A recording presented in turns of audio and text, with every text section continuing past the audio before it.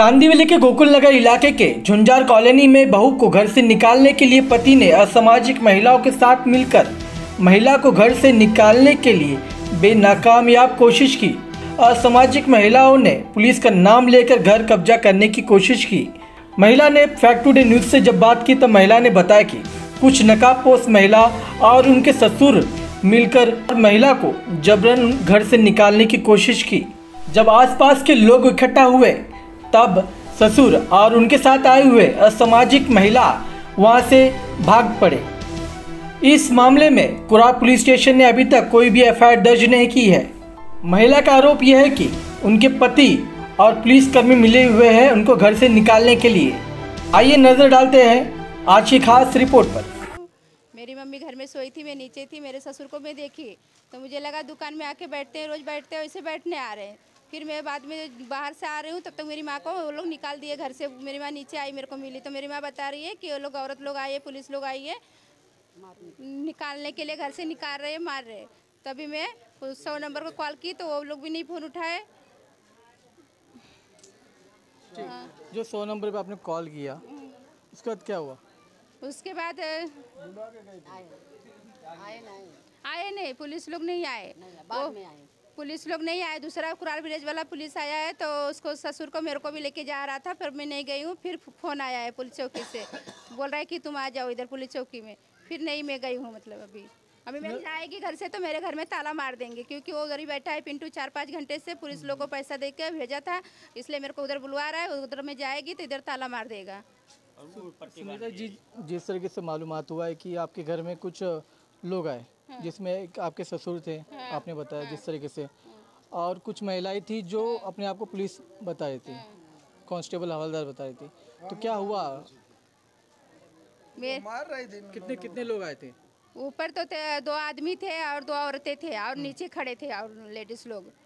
और लेडीज़ लोग आपके ससुर उसमें? आदमी ससुर मेरा मेरे गाँव का यहाँ ऊपर ही थे और दो लेडीज़ थी ऊपर। तो ससुर आपके क्या बोल रहे थे? मेरा ससुर बोल रहा है कि घर से निकल।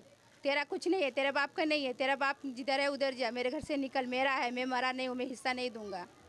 ओके और आपके जिस तरीके से आपने बताया कि आपके पति का किसी दूसरी पराय औरत के साथ अफेयर चल रहा है।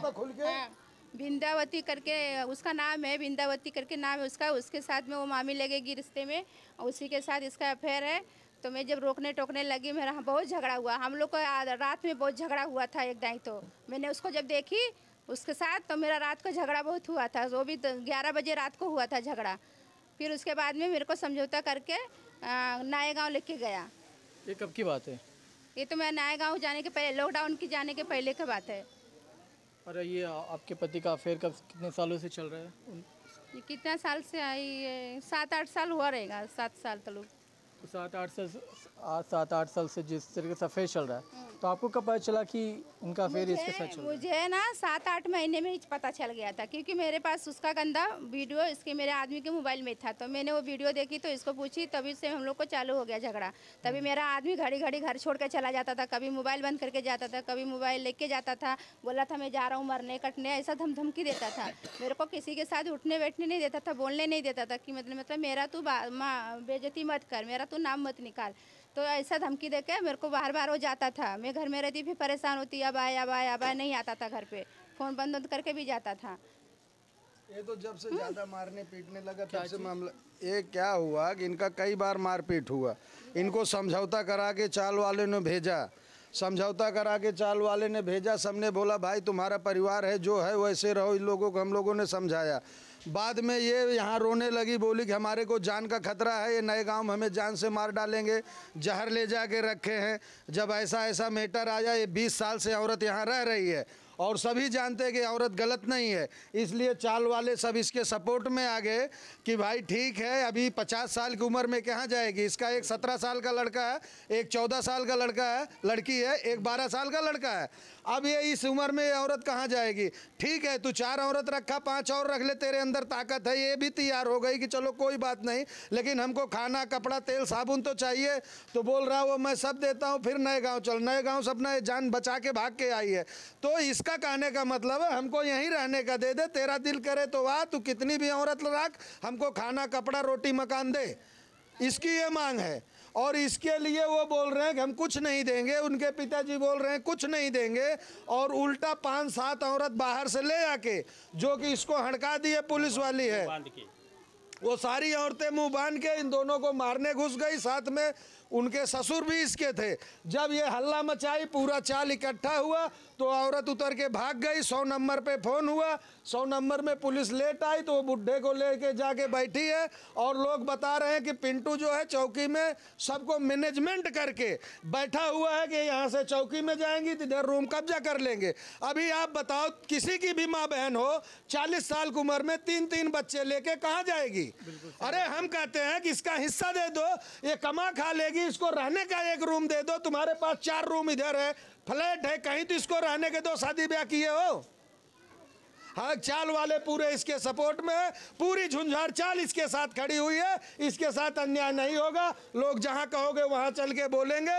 इसको रहने की जगह चाहिए। वो और चार औरत रख ले उससे मतलब नहीं इसको खाना कपड़ा चाहिए।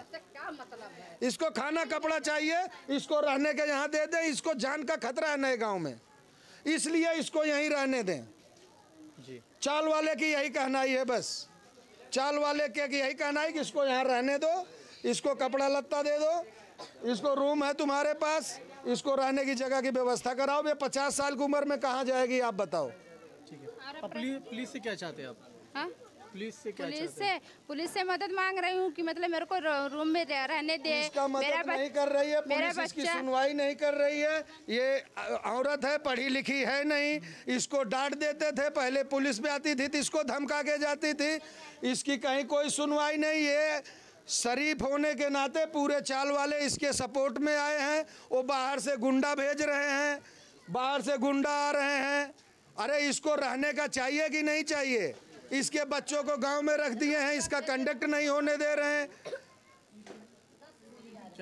चाहिए हाँ, अप्रैल तीन दिन अभी घर खाना खाए यहाँ घूम रही थी। मेरे बच्चे से लेके गए गाँव में वो लोग को भी आजू बाजू वाले खिलाए कैसे किए बता सब। बहुत बहुत बुरे हाल से वो लोग को भी रखा है क्योंकि मेरा एक दिन बात हुआ था बच्चे से मेरे छोटे वाले लड़के से तो मेरा लड़का बोला है मम्मी आज किसी को भी भेज आधी रात को अगर तू भेजेगी बारह एक बजे भेजेगी तो हम लोग बिना कपड़े के आ जाएँगे।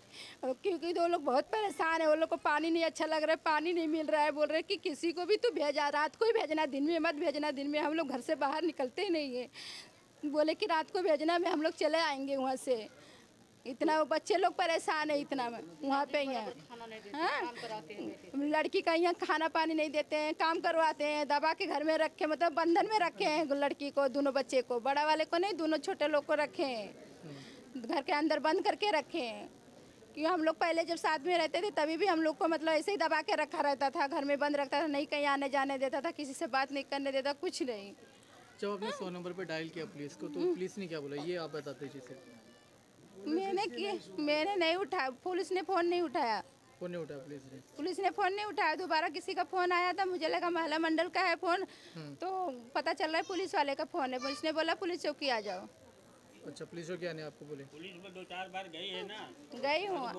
और मैं जब इधर रहने को आई हूँ अब दस पंद्रह दिन पहले जब रहने को आई हूँ इतने टाइम में आ गई थी शाम तलुक तो मैं आई तो ये घर में ही था। मेरे गाँव का एक लड़का था, ये था, मेरा आदमी था तो ये लोग फिर बैठे थे। फिर मेरे को ये लोग को लगा मैं आती थी तो चली जाती थी तो ये लोग को लगा कि ये चली जाएगी। तो जब मेरा का सामान देखा तो इसको मालूम पड़ा कि नहीं जाएगी। फिर मेरे को उधर ऊपर से ढकेल ढकेल के निकाल निकाल के या मार मार के निकाल रहा था। नहीं निकली, ज़बरदस्ती से हूँ तो फिर बोलता है, पुलिस को बुलाऊँगा। पुलिस को भी बोली, तू बुला ले। तो बोलता है कि मैं वीडियो बना लिया फिर मेरा। फिर बोलता है, मेरा बाप आएगा, निकालेगा तेरे को घर से मेरे। मेरे बाप का घर है ना, मेरा बाप आके निकालेगा। फिर मेरा ससुर आया मेरे को तो बोल के गया था, मेरा बाप निकालेगा। मेरे ससुर को मैं देख रही हूँ, अब आए अब आए। मैं तो कुछ गई नहीं, की नहीं ससुर के बारे में। मेरा ससुर आया तो बोलता है, मेरी बहू घर में नहीं ले रही है। कंप्लेंट किया। मेरा सिम बंद हुआ था तो मैं पुलिस चौकी गई हूँ तो वहाँ से पता चला कि तुम अपने ससुर का घर में नहीं ले रही हो। मैं बोली तो मेरे को तो आज मैं मोबाइल में परेशान हूँ, मेरा सिम बंद किया था। तो मैं कब नहीं ससुर को ली, मैं तो आज ही ससुर को देखी हूँ। अच्छा। तो पुलिस से क्या क्या मांगना चाहेंगे आप मदद? किस तरीके से? अभी मुझे रूम से चाहिए रहने का देख देख लिए ना आप कितना छोटा सा रूम है। हाँ। उसमें कहाँ पानी भी नहीं रहता है ऊपर पानी भी नहीं आता है। आज जब से मैं आई थी तब से पूरा चौल में खाना मांग मांग के खाई हूँ। अभी मेरे पास गैस कल ही आया है। पूरा चौल में खाना मांग के खाई हूँ। ये दुकान वाले को भाड़े पे दिया था उसको भी रोक कर रखा है। चाय नहीं सामान नहीं देना कुछ नहीं देना है। सामान नहीं चाय नहीं खाना नहीं कुछ नहीं दे रहे थे। दुकान वाले। जब हम लोग सब लोग यहाँ पे शोर सुने और हम लोग आए जब जमा हो गए इनकी दुकान के पास तो सब लोग आवाज़ करने लगे तो उन लोग भाग गए बोलने लगे हम लोग पूछे कि कौन है? तो बोलते पुलिस वाली है और वो लोग फ़ोन में इन पे पता नहीं क्या बातें करते हमको देखे और वो भाग गए उनको निकालने के लिए आए थे उन लोग। कौन थे वो लोग? पता नहीं कुछ मुँह पे कपड़े वगैरह बांधे थे हम लोग भी नहीं देखे कभी कहाँ से आए थे कौन से एरिया से आए थे कुछ आइडिया है ही नहीं। लेकिन भाभी को हेल्प करना चाहिए जहाँ तक कि मैं जानती हूँ उसको हेल्प की बहुत ज़रूरत है। फ़िलहाल वो अकेली है। देखो कोई कोई लव मैरिज या कोर्ट मैरिज नहीं है वो प्रॉपरली शादी करके आई है। दस बीस पच्चीस साल हो गया उसको शादी करके उसके बच्चे भी बड़े। उसको तो सब लोगों को हेल्प करना चाहिए मेरे हिसाब से। जी तो उनके पति के बारे में क्या जानते हैं आप? अभी सब तो यही बोल रहे हैं सब लोग यही बोल रहे हैं कि उनका अफेयर है ये है वो उनको नहीं रख रहे बट कुछ भी हो सब अच्छे से क्लियर करके एटलीस्ट भाभी को उनका हक मिलना चाहिए कुछ हो या ना हो वो तो पता नहीं बट उसको उसका हक तो ज़रूर मिलना चाहिए।